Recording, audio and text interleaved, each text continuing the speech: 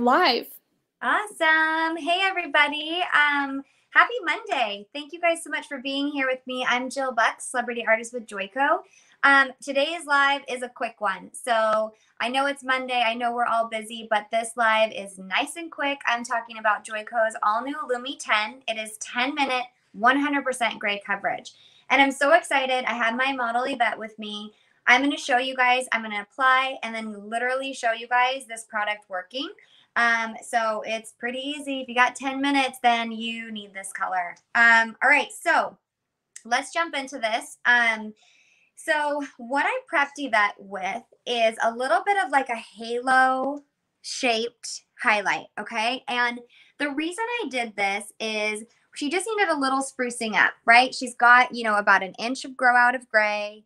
Um, and I feel like our clients come in a lot, right, with this. And, and this is what bothers them more so than even what their face frame is happening with their face frame. So, what I've now incorporated in with this new product is this halo shaped, really fast highlight. So, I'm not adding more time into my service. And I'm honestly able now to book a face frame highlight with a toner and a base, and it's all happening in the same time frame, which is huge for us right now in the salon. So, in the comments, you guys, if you have heard about Joico's new Lumi 10, please drop a thumbs up. I'm so curious out there how many of you guys have been trying this, loving this product. Um, everyone that gets their hands into it at the salon so far, I work at 901 in West Hollywood, have been obsessed with it. So I'm so excited to be on behind the chair and sharing this with you guys. I feel like it's such a game changer for us in the salon. Um, and, you know, we all know we are still recovering, right? From lots of closures. Um, and we just have a lot of clients to see. So if you're able to add this express service into your salon and you're still able to achieve all of this in the same time frame that's just like huge right for for our pocketbooks so i'm going to be just working right off of a basic center part on yvette a lot of times in the salon i work with a uh, with an assistant. So we get this on you know she's on one side i'm on the other. Um, so we get this on real quick. But for those of you that do not work with an assistant in the salon what i typically recommend with this product line is you can adjust by using a slightly lighter color like just one shade lighter in the back than what you do in the front. So that way, if this sits for 20 minutes, that's okay. It's still going to turn out with the same color that we put on top. That's the 10 minute time frame. Okay, so we're going to work with our 5N. And we're going to, I'm just going to kind of clip this. She's got so much hair. So just for some added control, I'm going to be pulling this up and out of my way. And now another really big thing that I did with her highlighting here is in the foil placement. When we get closer to the top, I can show you guys. I am dropping that foil down so I have space to get that gray coverage in there too. And I'll kind of show you guys what I mean, but this is how we're able to achieve both of these applications in just one sitting. And she's not going to have to sit with her base for a full 40 minutes.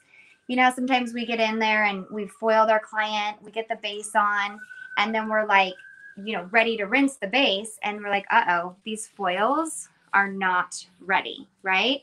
So this product has been totally changing that for me where i feel fully confident that i can get this base on and still get gray coverage from um, from the application.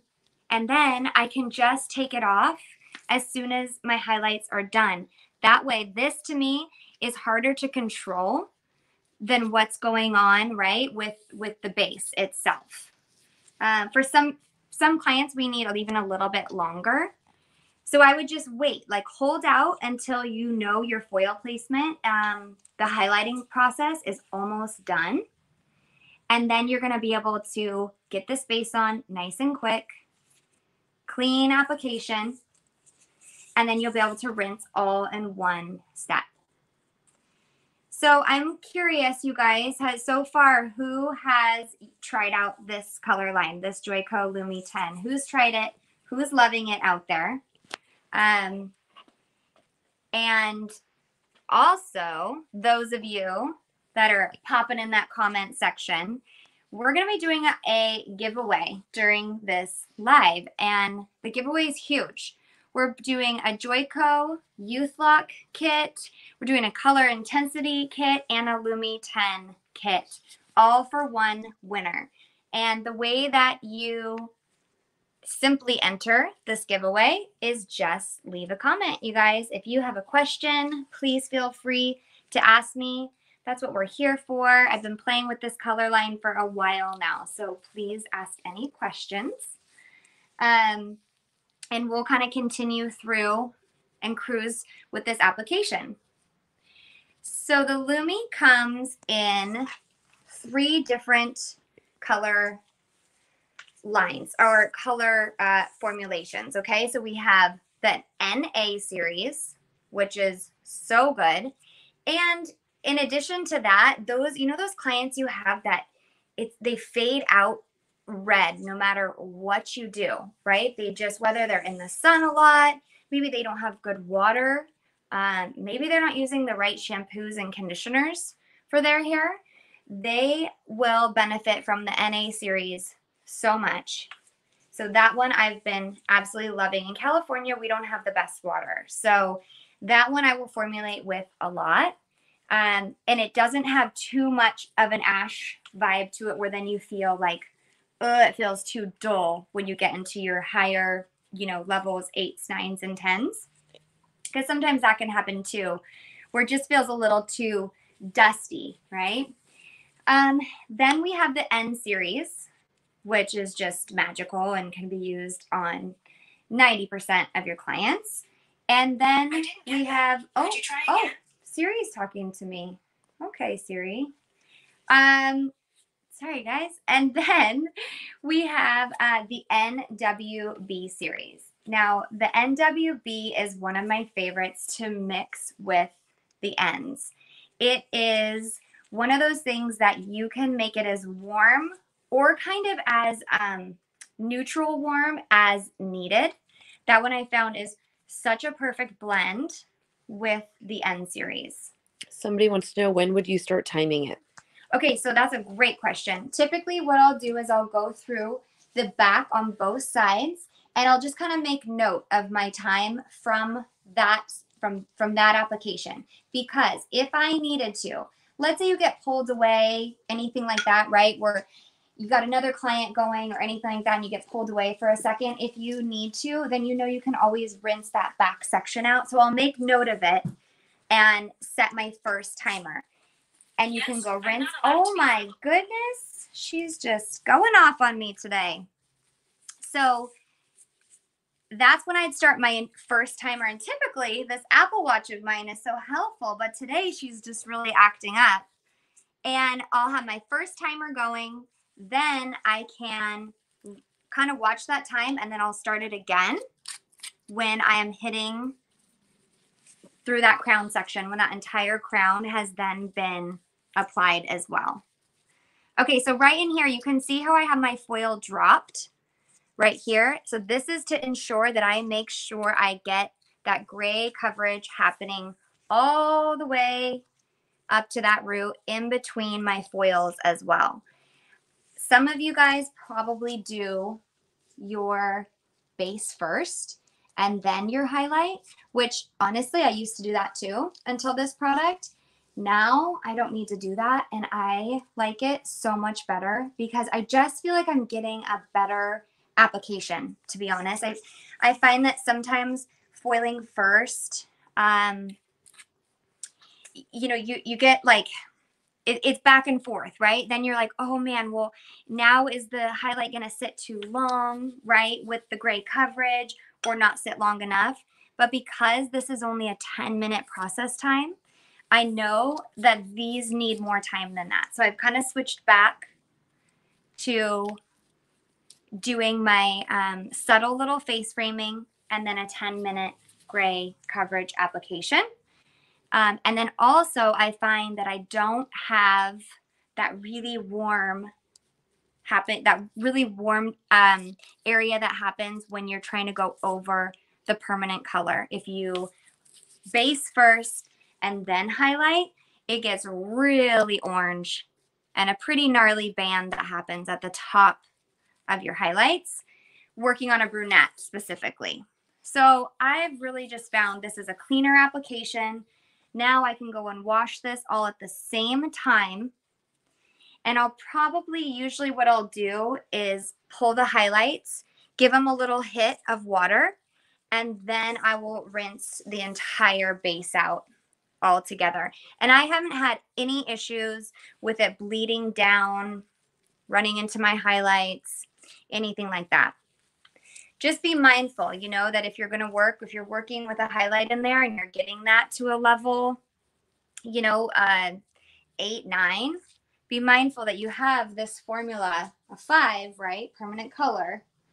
So do your best to still rinse those, clean, and it just kind of gives you that added little security. Now, if that were to happen to me for some reason, I just use like a good clarifying shampoo. It's going to be a very fast, you know, um, slight pigment change. It's not going to be anything major. I don't think you need to go back over it with like a bleach wash or anything aggressive like that. So the way that this product works in the 10 minutes is it has a larger dye load, okay, than what most of our permanent colors have. So keep that in mind when you're formulating. Okay, so just think of it as like, let's say you're coloring on a piece of white paper. Okay, you go over that once with a marker and then you go over it twice. Okay, you use the same color, but you went over it again, right? So you're adding more color and more load into your your creation, right? Your painting, your masterpiece.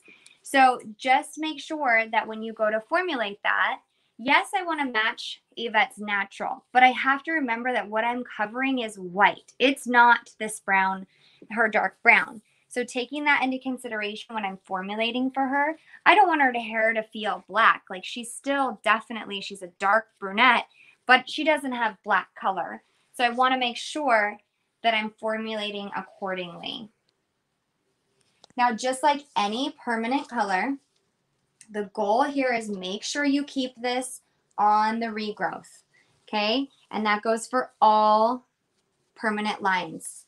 Um, you don't want to be pulling that down too much unless you are needing to cover an old band. Let's say it's a client you've never done before and she came in with a base that she just really was not happy with then that's when you would go in and go over again with a permanent color so it's not constantly you know fading out on her. Um, but for those clients that you, that are your clients that you're doing all the time they have flawless gray coverage right? They you just really need to be putting this permanent color right on that grow out. We don't want to create bands we don't want to make our lives harder right so being mindful with that. Now, in addition to the extra dye load, the developer you're going to be using with the Lumi 10 is Accelerator. Okay, let me show that to you guys real quick too. The Accelerator is meant to work with this product and this product alone. So I'm a, I'm a rule breaker, right? I break rules. But what I will say is with this color specifically, stick to the science. The scientists at Joico are seriously, they love what they do. I've met a few of them. Young, beautiful, smart girls that have created and worked on these projects. They have tested this over and over and over again. And so they have found that this accelerator is what works perfect in order to create this coverage. So I recommend you stick with it and don't break the rules quite yet. All right, so I'm, if you can see, I'm up in here now in the foils that I've kind of had dropped. I wanted to give her a little boost of a face frame. So I'm going to drop that down. And I originally did that in my foil placement so I'm ensure I'm getting coverage in there. The other thing too that I want to recommend is do your best to kind of tuck that hair, the hair that you foiled, try to tuck it away in the foil. Okay, so that way you're not worried about your ends coming out. You see how on her I've kind of tucked her ends under these these flaps in here. If you have extra coming out, you can tuck that in just to make sure that when that leans back, you're not hitting any of this dark retouch up in here. Okay, and then we're gonna do our best to keep our hairlines nice and clean with our clients. Make sure you take the time, you guys, to go back and clean up a hairline. I know we get working quick sometimes, but that customer service is so key to make sure that they the client's not sitting there you walk away and they feel like oh my gosh i have color all over my skin especially permanent color um, some skin stains more than others so just be mindful that you're keeping it nice and clean through here and i'm brushing this back away from her face again that's what she's going to see right when she goes and she pulls her hair up she's going to see all of this in here so I'm ensuring that I get really, really good coverage. Okay, and kind of picking up all her little baby hairs. She's got that really coarse, stubborn gray hair, right? That just likes to really, really make you work for it. So I'm going to show you guys a little trick once I finish this hairline that I will take a small piece of foil and I will lay it right over the top of these pieces. So sometimes we get that gray hair that's either new growth or who knows, right? Wait, what what the heck is gray hair doing? It has a mind of its own. So sometimes they just see even like this guy. I don't know if you guys can see that on camera. He's just he's just chilling, right? Doesn't want to go back with where I just put the color. So after I get this fully applied, I'm going to take another piece of foil and I'm going to lay it right over that hairline to make sure it's helping to lay that hair back. And you can see I'm taking more time on this hairline, right? These little detail things is what matters to your clients. Make sure you're getting every little hair in there. And sometimes if you even if you have to, get in there with a little eyelash brush if needed whatever it takes to make sure you're kind of going that extra mile for your client and making it feel like a service that they can't do at home, right? This isn't something they're not going to get the same result if they were to do this at home. Okay, and do your best to work around these masks. Pull all these guys back. So we do have a question from Janice on Facebook. Uh, she's wondering what's the model's natural level? Her natural level is a five. She has, um, and I would say probably about maybe 25% gray. I'm really bad at those numbers, but I would say about 25% gray. But because she's dark, right? She's like a um, a coarse level five. You know how different um, levels. Like I almost consider myself a level five six as well, but my hair is finer, so it just doesn't have that same depth to the pigment. Pigment. Yvette's is very coarse, so level five, and very crazy coarse um, grays popping out. So you can see I put this extra little piece of foil on and that's going to help lay that gray back away from the face. And then again, I'm going to be pushing and making sure none of these highlights are laying in any of the dark hair, okay? If any of this retouch, if I need to, I'll move it out of my way. And I'm going to keep spinning her and start working on the other side now. Okay, so I'm going to go to my timer here, right? We were mindful about what's happening there. Now I'm going to set a 10 minute timer for here. So obviously being on this live, I, I can't go back and forth and, you know, go rinse her if I needed to. Um, but in the salon, if I felt like I needed to get this color off, especially when you guys are first using this color, if you're like, whoa, I think that's going a little dark, don't hesitate to go and rinse it off. Okay. There's nothing worse than feeling like you just created a big catastrophe for yourself, right?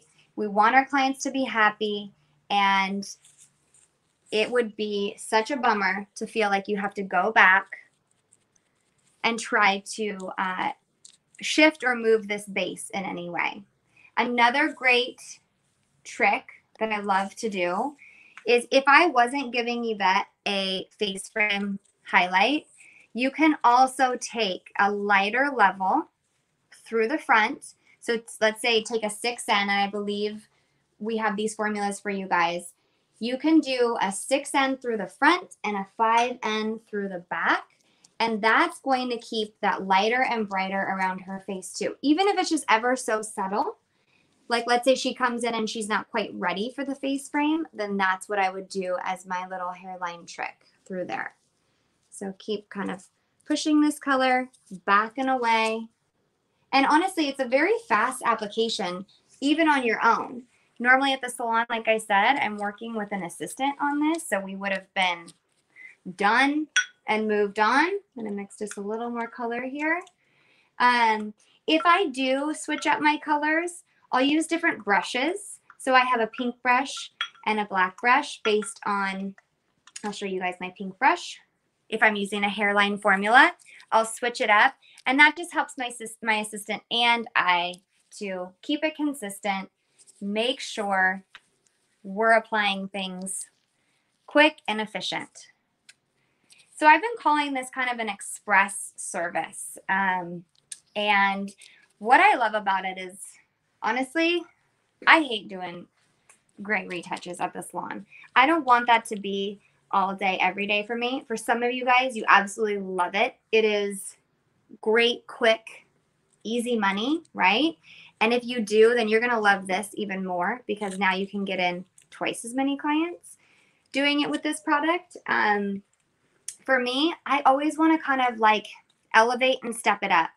So I love to be able to add this face frame in and get gray coverage. It just feels a little more creative for me. And then I'm now upping what I'm charging this client, even though literally what I'm tackling is her gray coverage. That's what she hates. That's what she comes in for. But I'm just going to take it to the next level, give her this face frame, and make her feel extra special, extra fresh. Okay, this last one I'll pull up and away and make sure we're keeping that off her hairline. So we stay nice and clean through here. And I'm almost done, but I'm going to show you guys. We'll swipe through the back and show you that it is covered and done. And it's so satisfying. So once I get her shampooed, then we will do a slight little tap on her highlights and I just do this all at the bowl. So while my client's back at the bowl, we've given her a nice shampoo. We add a little tap and a tone.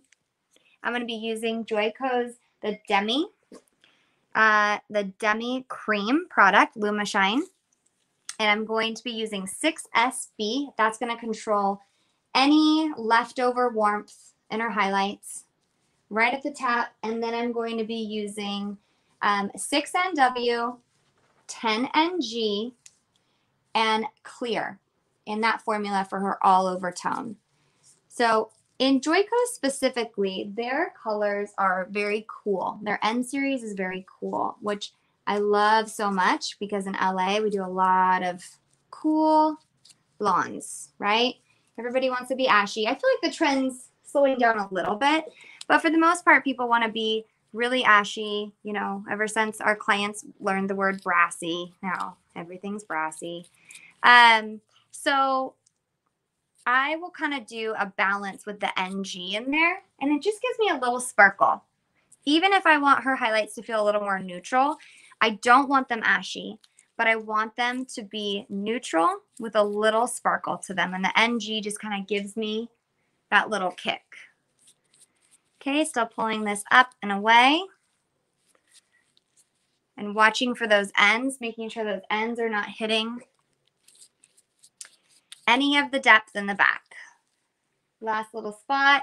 Be super mindful with your clients here, taking that time to additionally, the other little trick too is once you get in here and you're, especially when you're working by yourself, use your clips, guys. Use those tools. Make our lives easier so then I have a free hand. I can get in here and shift her mask and really make sure I'm getting all these little babies. She's got literally one little gray in there. And if that was still there, she'd probably see it, right? So being super mindful and detailed with our clients. Okay, going in here, getting all those little babies. All right, I'm gonna do the foil trick here. Sometimes people use um, perm paper too. Um, I just tend to have foil with me most of the time. So I'll do that. Okay, and keeping this clipped and away and just checking to make sure none of these little guys are laying on any of her dark. You see how we pull all this away. All right, let's give it a test. Let's give her a swipe. And I'm so curious if you guys think it covered or not. Here we go. There we go. Can you guys see that? Full coverage right in there. Right? So fast. So to be real with you guys, this sat more than 10 minutes in here, right? So let's go back to our timer. We're at three. We have three more minutes on this side. Let's just see what it's doing. I'm curious, right? I really want to be transparent with you guys. There's lots of color out there, right? We all get to choose what we love best. Um, but at the end of the day, we need to choose what works too, right? So I think it's so important to always be, as a professional, always be searching for that next best thing. What's going to help you in the salon? Time is money, right? Time is money. Our product, if we have to, if we feel like we have to be applying multiple product, if we feel like we have to be, you know, sitting with a client for 40 minutes, um, all of that makes a difference, right? So finding these tools, doing this type of digital education that you guys are doing, taking the time to learn um, and push yourself as artists is really what's going to help you grow. And I know sometimes that means it's going out of our comfort zone a little bit, but um, but grab your friends, grab your sisters, grab your moms, grab whatever, and play with this kind of stuff. You know, I've started to mess with this a little bit more and use it as a root shadow. I don't typically root shadow with a permanent color but I'm curious, what is this going to do for me and my clientele? Will it last longer? Can I highlight through it easily? All those things, just continue to push yourself as an artist um, and using those tools to your advantage. Um, okay, you guys, so I will make sure that I post some before and after photos of Yvette's color. Hopefully, you guys see it right here. It's happening and it's working. At 10 minutes, I want to make sure that I get this front washed off because I don't want it to go any deeper than what it's meant to be. I love that this will this will tonally be at a level six. She's gonna have some beautiful depth with a five through the back. And if I were in the salon, I would already have gone back now and start rinsing through the back. Um, again, don't forget to check your highlights, open those up, see how they're lifting, and kind of go from there before you decide to even apply through your crown. Okay, knowing where these are about is what's going to help you with your timing on your base. Um, okay, you guys, so that is it for us. I'm going to send Yvette off to go get shampooed and we'll get some photos for you guys. Please leave any comments, um, questions, and whoever wins the giveaway, let me know. Tag me. I want to see how you guys love this color. And again, thank you so much for tuning in on your Monday. See you later.